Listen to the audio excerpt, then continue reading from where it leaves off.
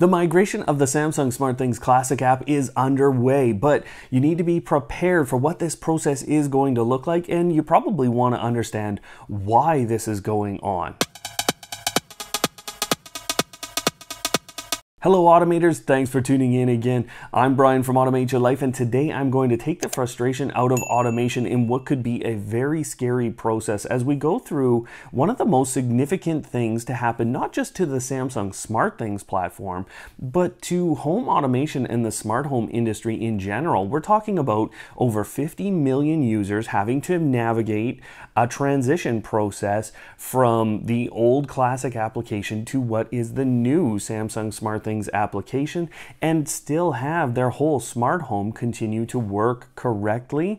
There are many reasons why this is starting right now, and frankly, the Samsung SmartThings app, the new one, is basically ready. It's at about 90% of the functionality that I think most people expect, and they are working on the last testing components now for that other 10% or what they can bring across from the old application. And that's really the basis for this is that old application is not ready for the new realities of the smart home industry and the new realities of the SmartThings platform in general we have the connected vehicle coming into the new application. We're seeing connected uh, appliances, so Samsung's Connect service coming into the platform and being managed through the new app as well.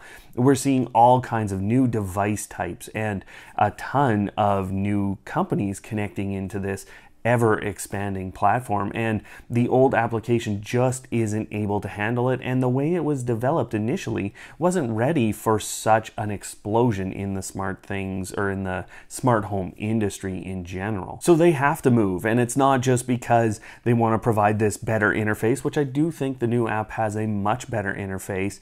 Uh, they they need to deal with some of the back end issues that are causing them a lot of headaches and causing reliability issues for you. And that's part of the why here today. But let's move on to what you can expect. The first thing you'll notice, and this is what's prompted me to start creating this video, is an email that says it's time to prepare. And if you don't have this, you will soon.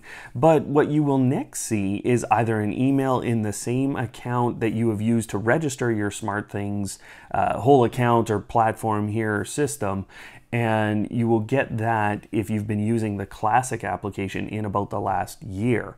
Now that email will actually say it's time to get moving with the migration process. And when you go to the Samsung SmartThings Classic application, you'll actually see a banner at the top of that application that says, it's time to migrate, let's go to the tool. Now, this will only happen once they have all of the products and services and the different smart apps and everything ready for your smart home within the new application. And this is only happening in small groups. So you're not going to see every person on the planet get this at the same time. It's based on complexity and also just releasing to smaller groups so that they can deal with the questions and the issues that arise out of this. So if you don't have that email, if you don't have a notice in the Samsung uh, Classic application, don't panic. It just means you're a hardcore automator and that's what I see you as, as well as Samsung, okay? So good on you. Don't worry, just wait your turn. One thing about this migration process will be that you have to update your actual SmartThings account to a Samsung account. Now, again, don't go running off. You don't have to do anything today, but this will be part of the migration. You'll have to actually move to that Samsung account, as well as any people in your home that uh, are connected or you've shared your SmartThings account with. They will have to upgrade to a Samsung account as well. Because of that slow ramp up in terms of releasing it to different groups of people and the ramp up to complexity, this process process is going to take months. And don't think that you're going to have to necessarily do this tomorrow. I'd love to hear if you do have to do it tomorrow because I still don't have an invitation to actually show you all of this process today. So you're going to see this take a long time and be rolled out over time. And this is part of how Samsung wants to manage the process. They want to deal with the little bugs as soon as they can with a small group of people so that the next group of people don't run into the same issues. And I think this is a great way of managing it. And I really like what I'm seeing out of their support system and their FAQ pages already. So once you, as the owner, and it's only the owner that has to go through this process, once you see that in the Samsung Samsung SmartThings Classic app, it is time to start the migration process. Now, what will that be like and what are the little hangups that you might see? I've got a few prepared for you here. One of the goals of this migration is to get rid of many of the custom device handlers that are out there. And Samsung has done a lot of work on this, and it doesn't mean that suddenly you're not going to have access to your devices. Calm down, calm down. You go ahead, write that comment down below, but I'm going to call you a little bit silly when I have to respond. What you will see is the opportunity through the migration tool to actually convert to one of the 100 default or standard device handlers that are basically ready to go into the system. And what's important about this is they're saying it will work just as good as your custom device handler. If we identify it through this process, you can move to that very safely. And the other component to it that I think is the most important is that it will be dropped in locally onto your hub and available for local execution. And this is obviously one of the biggest things within the Samsung SmartThings platform that we know is going to change over time here. This is a major component. So in a lot of cases, I'm going to personally recommend, even if you might lose one specific function from a device, you're going to get all that local execution capability. And I think that's the most important things. Now, I've been using the new application for a long time, and I'm not recommending necessarily that you go and install that today because it will generate a little bit extra complexity when you go to do the migration. Nothing major, so you can go and use that new app today if you'd like to get familiar. I will have a video out later this week that is a full walkthrough of that app. It's a 30 minute walkthrough, so you don't need to go do that. I'm going to prepare you as best I can for this migration. Now, the new app does have one thing that I've had to deal with for a while here, and that is you have this ability to create an infinite loop, and they don't want this because it has caused problems with the platform, and it, it actually can cause overall outages in a number of ways when people do this. So they want to eliminate that. And so the new application, if I go and I create if switch is on and it's 6 p.m. in the evening, turn switch off. And if I do that and it's the same switch on both sides, the application actually won't let me save that automation.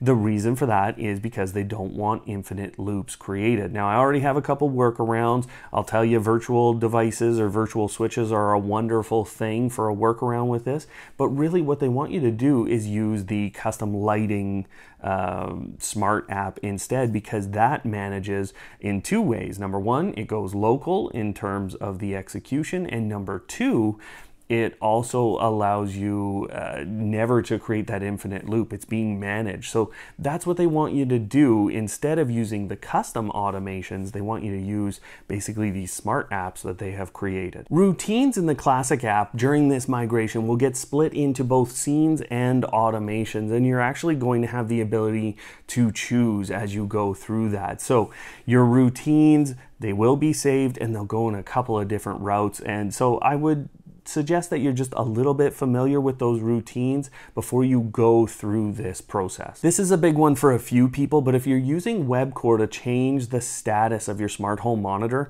when you migrate, that is no longer going to work. So that's an important one for a few people. Now that smart home monitor itself is getting some back-end changes to work more reliably, to be better integrated with the SmartThings platform. And there are already some workarounds that you will see if you watch our Smart Things app walkthrough on Wednesday, you'll see the automation that I created already to manage my smart home monitor in an automated way. So as soon as all the phones leave the area, it'll turn that system on and then it'll turn it off when anyone uh, comes back. It's a very similar thing with the lock code management system, which is kind of moving to a smart app called Lock Guest Code Access or something to that effect. So you're going to see these little changes in naming and how those systems work, but in general, that migration process will be very easy and simple.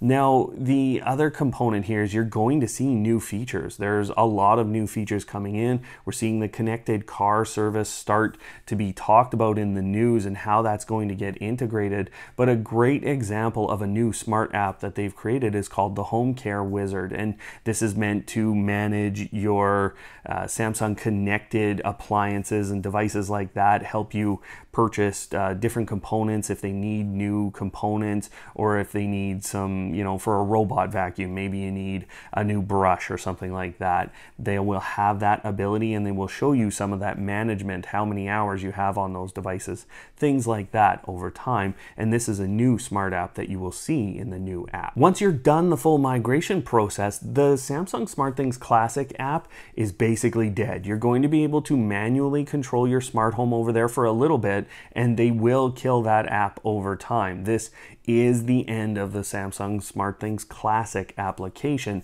It's going to take a long time. Remember, you're going to have a lot of time to do this, and I'm going to put out a guide as soon as I can with this migration process, uh, showing you that migration process. But once you do this, that Samsung SmartThings Classic app is basically done for you, and you should move to the new app. Now, I have noticed a couple of things as people have talked about their migrations, and Life 360 is a great example basically that's not coming across just yet. It's not in the new app. So if you don't have it in the old app, or if you are using it in the old app, it's not showing up in the new app. They want you to use their geolocation and their phone sensing capabilities instead of something like Life 360. And the other thing I've noticed is virtual switches. And this is just something that in general I'm telling people go create a virtual switch in the Samsung SmartThings Classic application. If you don't know how to do it, feel free to ask down below. It's a very simple process. We have these things on our community boards as well, so you can head over there, do a quick search on how to create a virtual switch, and it's very simple. Um, those two things are examples of things that basically haven't shown up in the new app yet. So let's get prepared, automators, for this transition process here.